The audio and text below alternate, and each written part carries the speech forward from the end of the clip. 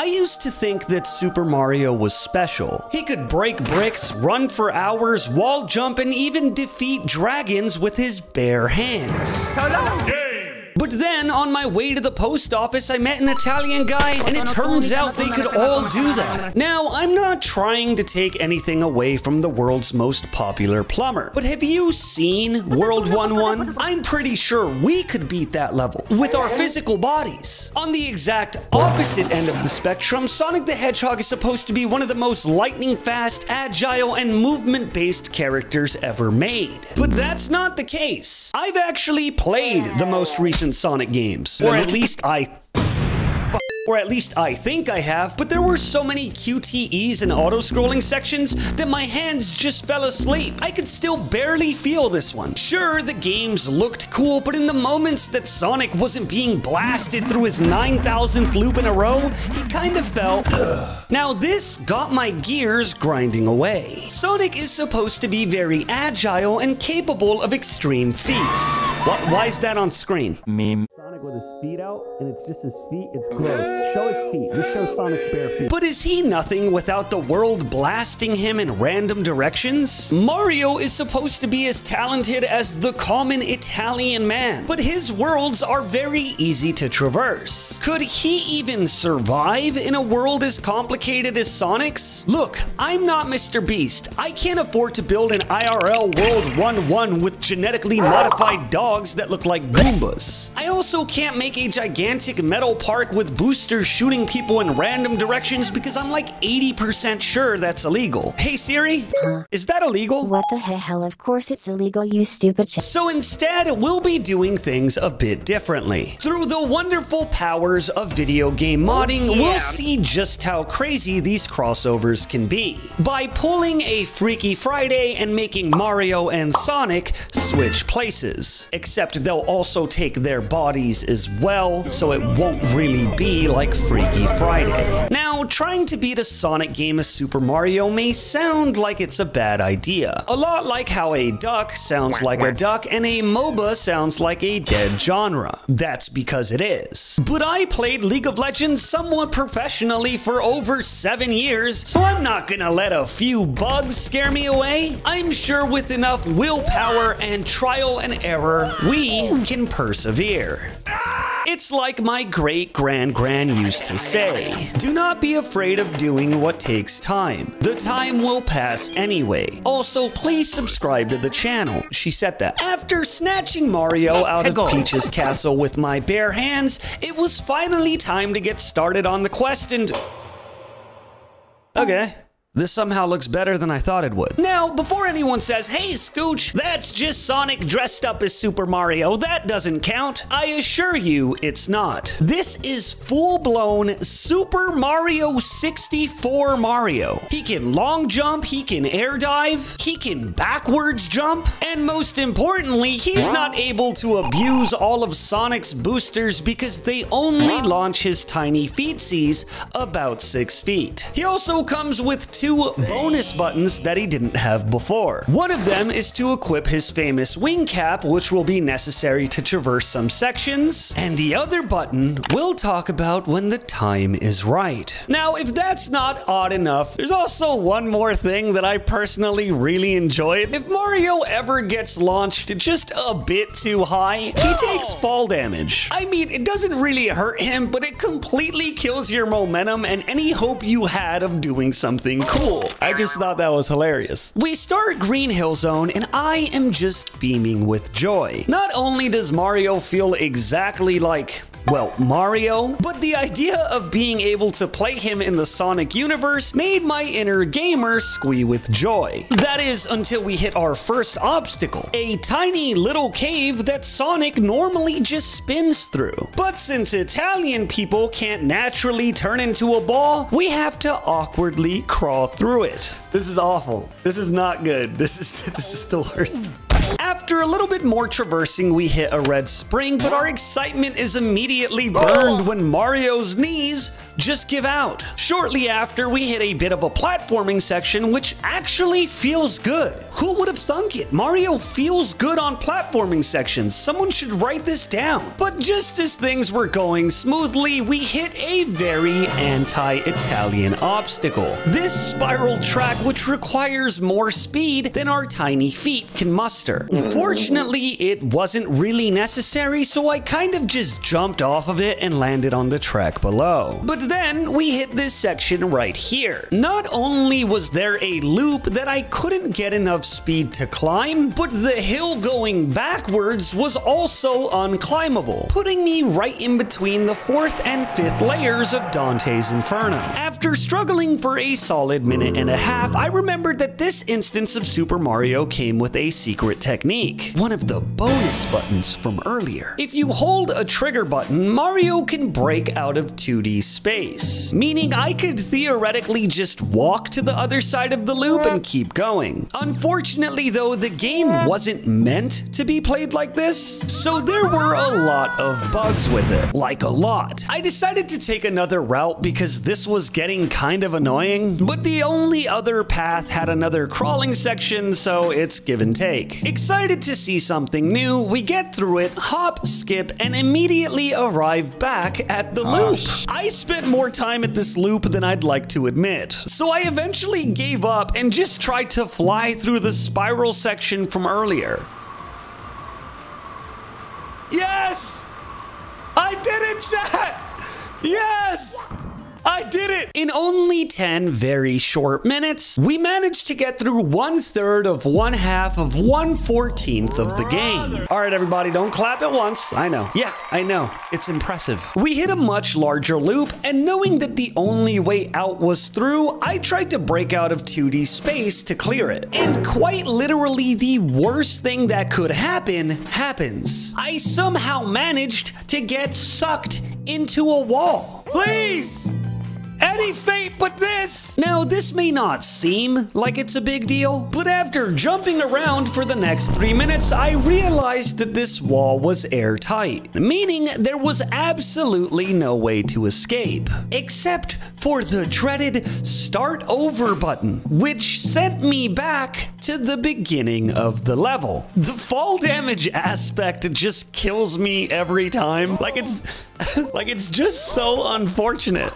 After a few minutes of backtracking, we pass the loop-de-loop for the first time and meet what I'd like to call this stage's final boss. A spiral track just like before, except the funny thing about this one is if you don't make it over, you die. and when you die, you have to spend three entire minutes making your way back. You can just hear the excitement in my voice. Stop! What is he? Every single time I die.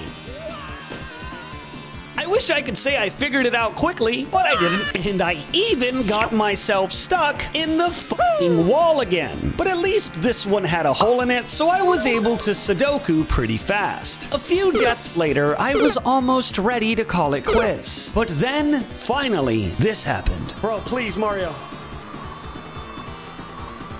Please, Mario! My god, dude! And with that, we were done with our first stage. Oh, I'm sorry, first half of a stage. Hooray! Now, if you don't know Sonic Generations, this next part may be a little confusing, so let me explain. Basically, the second acts of every level are supposed to be the new Sonic stages, meaning they have 3D sections and normally rely on the boost mechanic to get you to the end. But Mario doesn't have a boost mechanic, so you just gotta walk. it's a boost stage, but I run the normal speed of an Italian. The good news, however, is that the stage was really easy. Because as we all know, 3D Sonic games are more of a movie than anything else. A little bit of speed, uh, and then instantly it gets ruined by Mario just not being able to. Oh, there's a little grind section where Mario gets chased by a gigantic fish, but this imagery is just so wrong. It's the most Wish.com gaming I have ever seen. Is that a wallpaper? Whoa! That's the fault.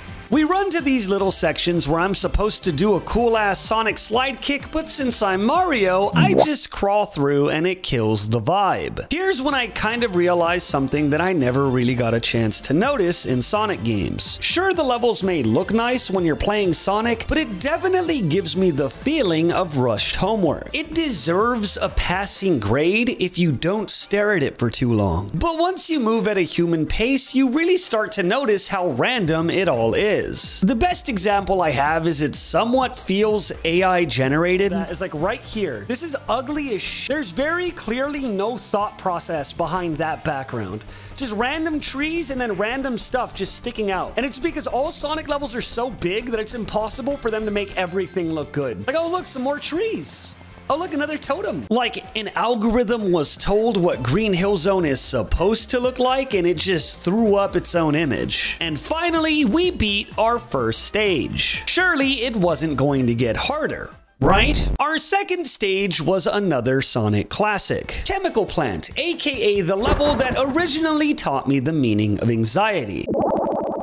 As a man who almost drowned in real life, I can honestly say with my whole chest that drowning in Sonic is worse. But fortunately, Mario doesn't have those problems. I mean, you could still drown, but he can swim, which means you could just go up for air when you need it? The platforming section on this stage felt kind of good actually. Chemical Plant is a lot tighter than Green Hill Zone, which allows Mario to shine with wall hops and long jumps. Also, sometimes Mario just randomly gets blasted through these tubes, and you can just imagine how much that hurts.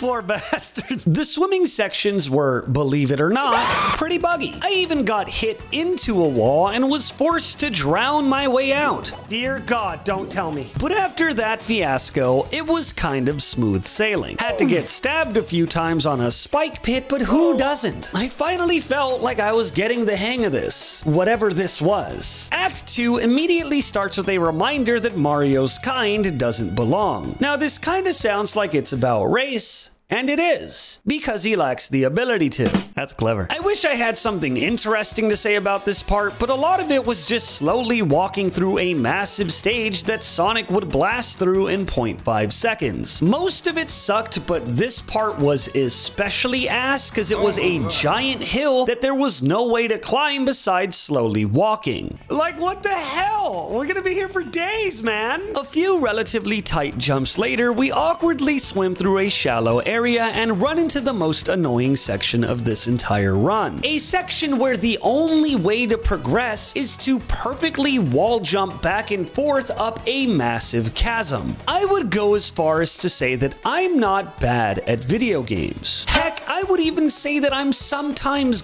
good. But even with my layers of expertise, this section took 7 minutes for me to do correctly once, which should normally be enough, but shortly after there's this massive wall that requires Mario to fly around it using the out of bounds button. But if you go just one pixel too low,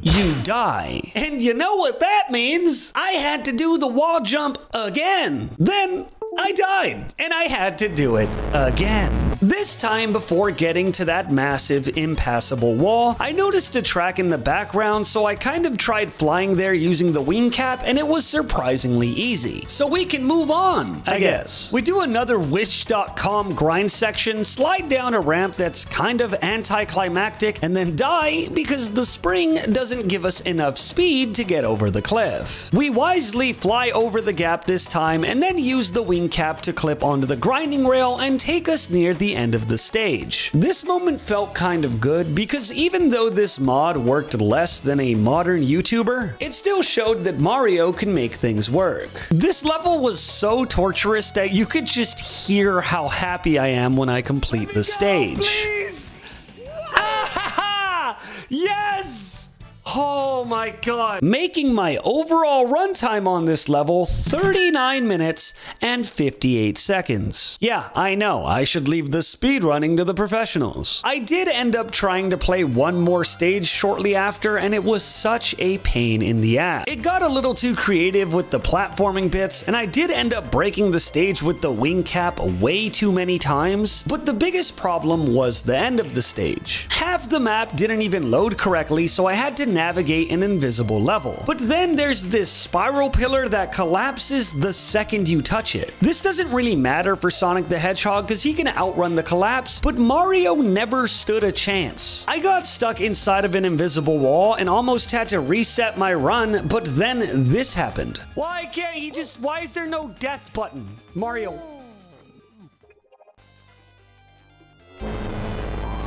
Turns out if you press all four triggers at the same time, you die. Could have used that info earlier, but cool, I uh-huh. guess. I literally spent another hour flying out of bounds and dying again and again. Until finally, after a full restart, I managed to find a really high point to fly from, which allowed me to skip the spiral pillar altogether and fly directly into a red spring that launches you into the floating flag at the end of the stage. Oh. Here we go!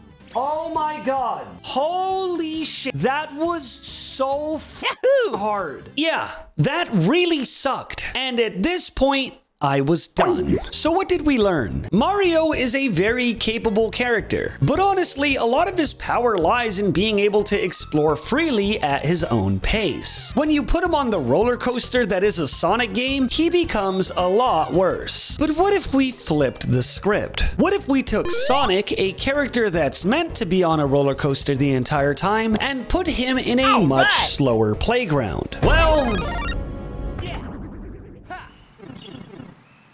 It's not that bad. As far as movement options go, Sonic runs way faster, has a jump bounce instead of a ground pound. When you crouch, he turns into a ball, and he has an air dash slash homing attack to generate momentum. The funniest thing about this mod is that the creator also changed the enemies, and he made the letter that happens in the beginning of the game come from Eggman. I'll conquer the world!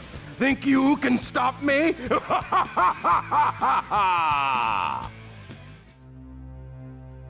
There is no way. Because why not? Look at Knuckles just standing there as confused as I am. Now, believe it or not, controlling Sonic in a Mario game was a lot easier. Like a lot. To get the first star, uh, I mean shard, I sprint up Bob-omb Battlefield. Sonic can even run up some walls, so it was fairly easy to speedrun through this stage. Fighting King Bob-omb at the top was about as simple as it always is. In fact, I think I almost struggled a bit more as Sonic because he just needs to chill the f out for a second or two. Slow down. After beating King Bob-omb, I saw what looked like a pretty makeable jump now that I was Sonic, but then I was harshly reminded that I'm dealing with Mario physics and immediately took fall damage that hurt this time. On my way back up, we run into this complete nightmare fuel of a monster. What the that, dude? What is that? Yuck, I don't remember Eggman having anything like that. Then we grab the shard at the top of the stage and continue on the quest. The next mission was to race Metal Sonic to the top of the mountain. But since I was Sonic, I just like ran there. Hooray! Then for our third shard, we freed the evil Pac-Man chain chomp thing and kept going on our way. Our next stage was Cool Cool Mountain because Sonic is chill like that. Unfortunately, the first few shards in this stage had to do with the awkward slide inside the cabin, and hitting a little snag on the slide would send Sonic flying right off the stage. After dying a few times, I finally got to the end and got my shard. Next, I returned this Chao back to his mom, Okay, I'm not gonna ask about that. Get my second shard and immediately have to do the slide again. Only this time, I'm going against a giant Chao instead. Wait, is that...